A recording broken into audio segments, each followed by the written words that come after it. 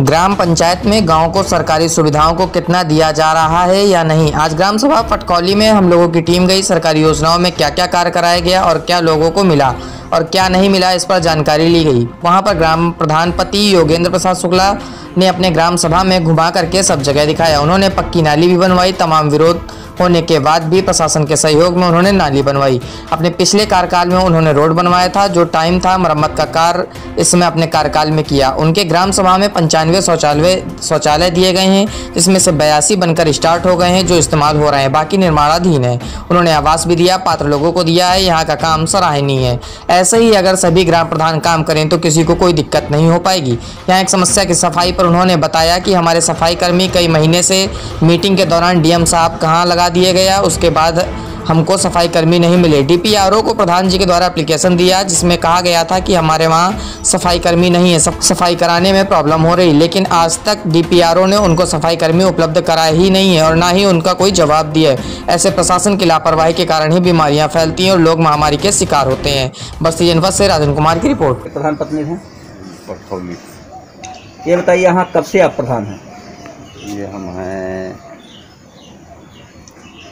अभी पिछला कार्यकाल जो शुरू जो कार्यकाल चल रहा है दो हज़ार पंद्रह से। दो हज़ार पंद्रह से। ये बताइए अपने कार्यकाल में आपने स्वच्छता पर कितना शौचालय वगैरह बनवाया? हम हमको मिला था पंचानवे बयासी मेरा बन चुका है। कुछ आधा बना हुआ है कुछ बनने जा रहा है। और कितना आपने प्रधानमंत्री आवास दिया अपने ग्राम सभा में? पाँच।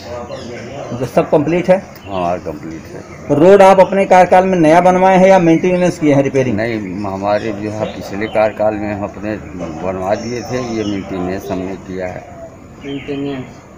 कि कितने के मतलब मीटर में आपने मेंटेनेंस कराया है? एक चार सौ एक एक जो है एक चार सौ बीस मीटर है।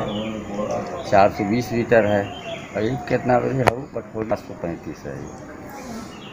आपके मतलब मैं देखा हूँ ग्राम सभा में कुछ दो चार मीटर छोड़ करके बाकी तो रोड आपके वहाँ क्लियर है।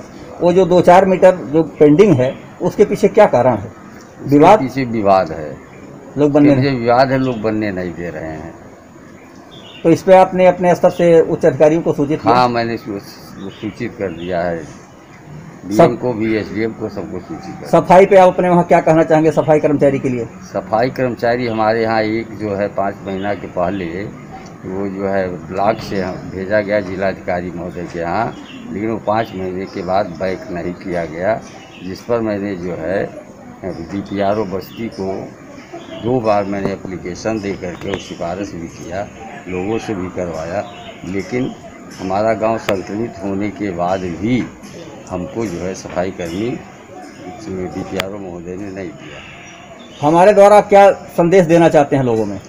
हम हम आपके द्वारा ये संदेश देना चाहते हैं कि आप जो है हमारा ये संदेश और हर जगह है कि मैंने जो काम किया है, वो सुचारू रूप से किया है, ईमानदारी से किया है, और लोगों के सामने